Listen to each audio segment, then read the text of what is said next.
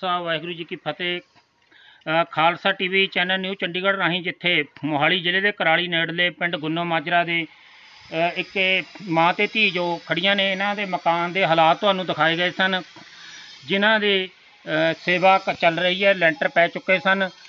ਇਸੇ ਤਰ੍ਹਾਂ ਹੀ ਸਾਡੇ ਕੋਲ ਅਨੰਦਪੁਰ ਸਾਹਿਬ ਤੋਂ ਦੋ ਵੀਰ ਜੀ ਪਹੁੰਚੇ ਨੇ ਜਿਨ੍ਹਾਂ ਦੇ ਕੈਲੀਫੋਰਨੀਆ ਤੋਂ ਉਹਨਾਂ ਨੇ ਕੁਝ ਮਦਦ ਮਕਾਨ ਦੀ ਸੇਵਾ ਤੇ ਇਹਨਾਂ ਦੀ ਸੇਵਾ ਦੇ ਲਈ ਇੱਥੇ ਭੇਜੀ ਹੈ ਜੋ ਤੁਹਾਡੇ ਨਾਲ ਅ, ਗੱਲਬਾਤ ਉਹ ਆਪ ਜਾਣਕਾਰੀ ਦੇਣਗੇ। ਤੁਸੀਂ ਤੁਸੀਂ ਤੁਸੀਂ 50000 ਰੁਪਇਆ ਉਹਨਾਂ ਨੇ ਬਾਹਰ ਤੋਂ ਬੱਚਿਆਂ ਨੇ ਭੇਜਿਆ ਹੈ ਜੀ।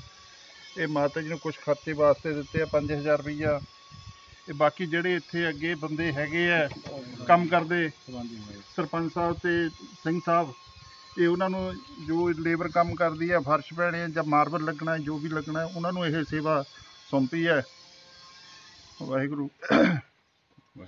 ਸੋ ਇਹਨਾਂ ਦਾ ਵੀਰਾਂ ਦਾ ਬਹੁਤ ਬਹੁਤ ਧੰਨਵਾਦ ਹੈ। ਜੋ ਹੁਣ ਅੱਗੇ ਲਿਪ- ਕੁਝ ਕੰਮ ਰਹਿੰਦਾ ਸੀ ਕੋਈ ਸੇਵਾ ਦੇ ਲਈ ਇਹਨਾਂ ਦੇ ਲਿਪਾਈ ਦਾ ਫਰਸ਼ ਦਾ ਤੇ ਬਾਥਰੂਮਾਂ ਦਾ ਉਹ ਜਲਦੀ ਹੀ ਜੋ ਇਹਨਾਂ ਨੇ ਸੇਵਾ ਭੇਜੀ ਹੈ ਉਹ ਪੂਰਾ ਹੋ ਜਾਵੇਗਾ।